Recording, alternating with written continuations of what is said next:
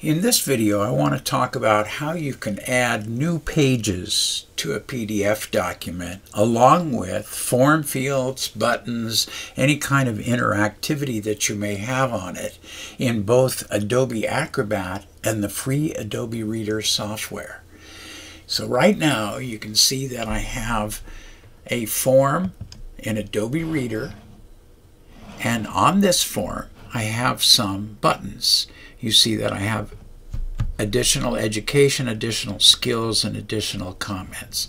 If I click on one of these buttons, like additional education, you can see that now I have two of two pages. Before I had one of one pages.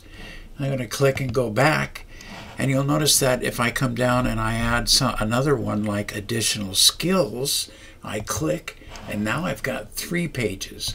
Once again, this is in the free Adobe Reader software. These pages were added along with the form fields. You can see that on both of these spawned pages, I've got checkboxes and form fields throughout the form. Okay, so let's take a look at how we actually create this. I'm going to leave Adobe Reader now. I'll close it, and no, I won't save it. Let's go over to Adobe Acrobat and I'll open up that same form. You'll notice now I'm in Acrobat Pro and I'm going to come and take a look at what's going on on these links here. So let's go to Prepare Form and I'll double click and you see that I have a JavaScript here. I'm going to select the JavaScript and click on my edit button. Now you don't have to really understand JavaScript because I'm going to uh, upload this form to my uh, website and I'll provide a link in the description for where you can download the form. So don't worry about understanding what's going on. It's just that I'm getting page templates that in this JavaScript and it's this command right here, spawn page from template, is actually adding that template as a new page in my form.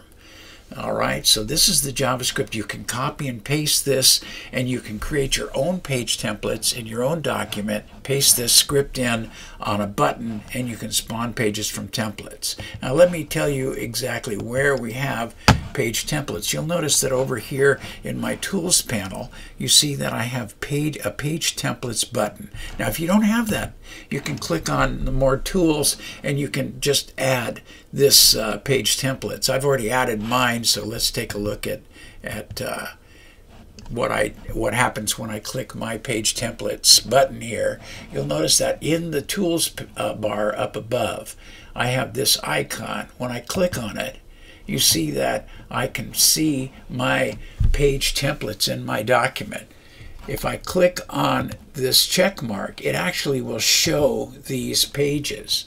Uh, so I'm going to close and you can see that if I scroll down, you can see that I have these page templates visible now. I can click once again and make them invisible, in which case this goes back to 1 over 1, meaning one page in the document. When the page templates are hidden, they're not counted as additional pages in your file.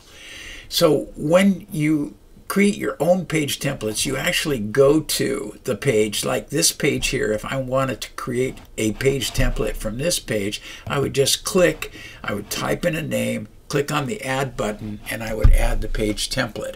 Then you place a button, copy and paste that JavaScript, make sure that you get the right name for the page template and uh, you're good to go. All right, so it's just that easy. I will put a link in the description where you can download this form, tear it apart, take a look at the JavaScripts, and see if you can create your own page templates and your own forms and add a JavaScript that will spawn a page from a template. So once again, this is Ted Padova wishing you all the very best in all your forms creation activities.